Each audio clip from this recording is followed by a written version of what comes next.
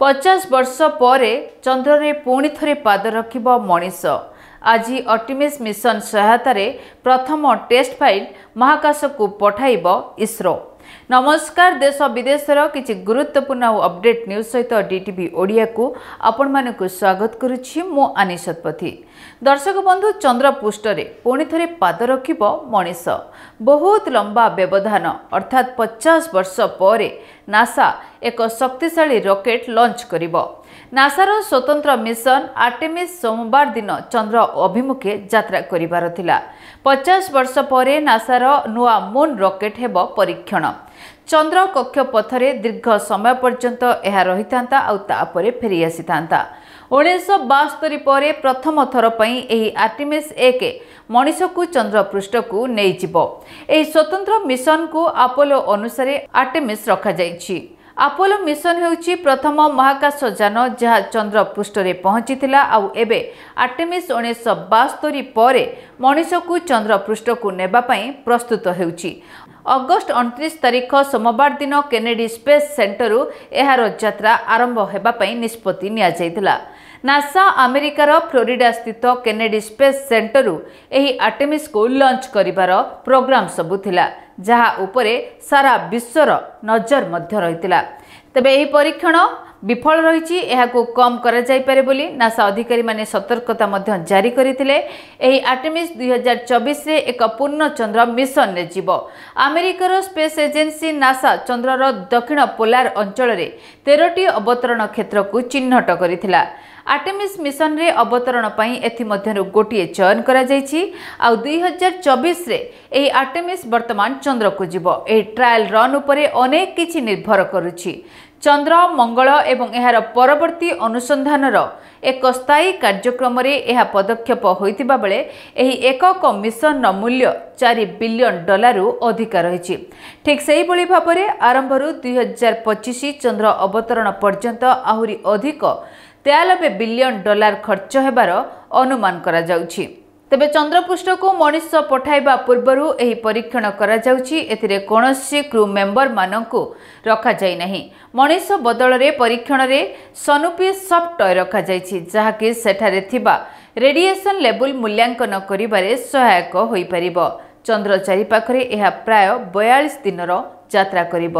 କିନ୍ତୁ ଶେଷ ମୁହୂର୍ତ୍ତରେ ଅଟକି ଯାଇଛି ଏହି ମୁନ୍ ମିଶନ। ରକେଟ୍ରେ ଇନ୍ଧନ ଲିକ୍ ଯୋଗୁଁ ଉତ୍କ୍ଷେପଣ ବାତିଲ କରିଛି ନାସା। ଇନ୍ଧନ ଲିକ୍ ଏବଂ ଇଞ୍ଜିନ୍ ସମସ୍ୟା ଯୋଗୁଁ ଆମେରିକା ମହାକାଶ ଗବେଷଣା ସଂସ୍ଥା ନାସା ତାର ଚନ୍ଦ୍ର ଅଭିଯାନକୁ ସ୍ଥଗିତ ରଖିଛି। ଉତ୍କ୍ଷେପଣର ଶେଷ ମୁହୂର୍ତ୍ତରେ ସ୍ପେସ୍ ଲଞ୍ଚିଂ ସିଷ୍ଟମ ବା ଏସ୍ଏଲ୍ଏସ୍ ରକେଟ୍ର ଥଣ୍ଡା ହାଇଡ୍ରୋଜେନ୍ ଏବଂ ଅମ୍ଳଜାନ ଭରିବା ପ୍ରକ୍ରିୟାରେ କିଛିଟା ସମସ୍ୟା ଦେଖାଦେଇଥିଲା। ଫଳରେ ଗୋଟିଏ ସ୍ଥାନରୁ ଅତ୍ୟନ୍ତ ସମ୍ବେଦନଶୀଳ ବିସ୍ଫୋରକ ହାଇଡ୍ରୋଜେନ୍ ଲିକ୍ ହୋଇଥିଲା। ତେବେ ଏହି ସ୍ଥାନରୁ ଲିକେଜ୍ ମଧ୍ୟ ଠାବ କରାଯାଇଥିଲା ଯାହାପରେ ଉତ୍କ୍ଷେପଣକୁ ସ୍ଥଗିତ ରଖିବାକୁ ନିଷ୍ପତ୍ତି ନିଆଯାଇଥିଲା। ଏହି ରକେଟ୍ରେ ଚାରିଗୋଟି ମୁଖ୍ୟ ଇଞ୍ଜିନ୍ ମଧ୍ୟରୁ ଗୋଟିଏ ସମ୍ପୂର୍ଣ୍ଣ ଥଣ୍ଡା କରାଯାଇପାରିନଥିଲା ଯାହା ନାସା ପାଇଁ ସମସ୍ୟା ସୃଷ୍ଟି କରିଥିଲା। ଏହି ତ୍ରୁଟିକୁ ସଜାଡ଼ା ଯିବା ପରେ ଆସନ୍ତା ସେପ୍ଟେମ୍ବର ଦୁଇ ତାରିଖରେ ପୁଣି ଥରେ ଉତ୍କ୍ଷେପଣ ପାଇଁ ଉଦ୍ୟମ କରାଯିବ। ତେବେ ଯାନ୍ତ୍ରିକ ତ୍ରୁଟି ନାସାର ଶକ୍ତିଶାଳୀ ରକେଟ୍ର ଉତ୍କ୍ଷେପଣ ଶେଷ ମୁହୂର୍ତ୍ତରେ ସ୍ଥଗିତ କରାଯାଇଛି। ଆମେରିକାର space agency NASA Artemis one ଉତ୍କ୍ଷେପଣକୁ ଶେଷ ମୁହୂର୍ତ୍ତରେ ସ୍ଥଗିତ କରିଛି।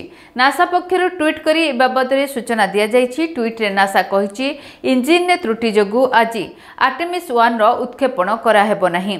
ସମସ୍ୟାକୁ ଦୂର କରିବା ପାଇଁ ଟିମ୍ ଡାଟା ସଂଗ୍ରହ କରୁଛି। ପରବର୍ତ୍ତୀ ଉତ୍କ୍ଷେପଣ ପ୍ରୟାସର ସମୟ ବାବଦରେ ପୂର୍ବରୁ ସୂଚନା ଦିଆଯିବ। ନାସାର ଏହି ଶକ୍ତିଶାଳୀ ରକେଟ୍କୁ ଫ୍ଲୋରିଡା ସ୍ଥିତ କେନେଡି ସ୍ପେସ୍ ସେଣ୍ଟରରୁ ଲଞ୍ଚ କରାଯିବାର ଥିଲା। ସୋମବାର ଦିନ ଭାରତୀୟ ସମୟ ଅନୁଯାୟୀ ସନ୍ଧ୍ୟା ସାଢ଼େ ଛଅଟା ସମୟରେ ଆର୍ଟେମିସ୍ ୱାନ୍ ଅଧୀନରେ ସ୍ପେସ୍ ଲଞ୍ଚ ସିଷ୍ଟମ ରକେଟ୍ ଏବଂ ଆରିୟନ୍ କର୍ କ୍ରିପ୍ସୁଲର ପ୍ରଥମ ଟେଷ୍ଟ ଫ୍ଲାଇଟ୍ ହେବାର ଥିଲା। ତିନିଶହ ବାଇଶ ଫୁଟ ଲମ୍ବ ଏହି ରକେଟ୍ ନାସା ଦ୍ୱାରା ନିର୍ମାଣ କରାଯାଇଥିବା ସବୁଠାରୁ ଶକ୍ତିଶାଳୀ ରକେଟ୍ ଅଟେ। ଏହି ରକେଟ୍ ସାହାଯ୍ୟରେ ପ୍ରାୟତଃ ବୟାଳିଶ ଦିନର ମିଶନରେ ବିନା ଚାଳକ ଦଳରେ ଅରିୟନ୍ ସ୍ପେସ୍କ୍ରାଫ୍ଟକୁ ଲଞ୍ଚ କରିବାର ଯୋଜନା ପ୍ରସ୍ତୁତ କରାଯାଇଥିଲା। ଏହି ମିଶନରେ କହି ରଖୁଛୁ ଆପଣମାନଙ୍କୁ ଯେ ଏହି ମିଶନରେ ବୈଜ୍ଞାନିକମାନେ ଆରିୟନ୍ କ୍ରୁ କ୍ୟାପସୁଲର କ୍ଷମତାକୁ ଜାଣିପାରିବେ।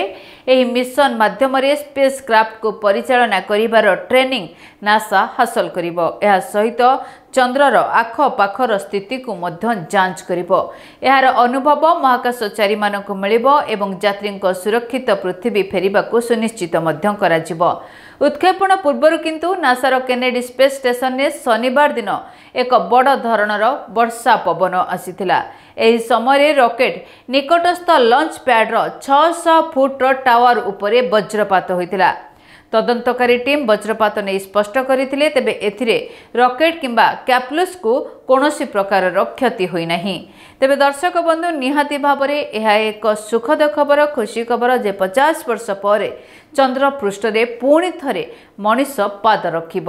ତେବେ ଏହା କେବେ ସଫଳ ହେବ କିପରି ସଫଳ ହେବ ଏହା ସମୟ ହିଁ କହିବ। ଏ ସମ୍ପର୍କରେ ଆପଣମାନଙ୍କର ମତାମତ ଅପେକ୍ଷାରେ ରହିଲୁ। ଧନ୍ୟବାଦ। ଯଦି ଆପଣଙ୍କ ଜୀବନରେ ବ୍ୟକ୍ତିଗତ ପାରିବାରିକ ସମସ୍ୟା କର୍ମକ୍ଷେତ୍ର ନିଯୁକ୍ତି ବୈବାହିକ ସମସ୍ୟା ବାସ୍ତୁଦୋଷ ଏବଂ ମାଲି ମକଦ୍ଦମା ଆଦି ସମସ୍ୟା ଥାଏ ତାହେଲେ ସମସ୍ୟାର ସମାଧାନ ଓ ପରାମର୍ଶ ପାଇଁ ଆମକୁ ଯୋଗାଯୋଗ କରନ୍ତୁ ଜ୍ୟୋତିର୍ବିଦ doctor Bhabani Shankar Mahapatra Budheswari colony plot number twenty six Bhubaneswar phone number nine seven seven six eight three three three zero two nine four three nine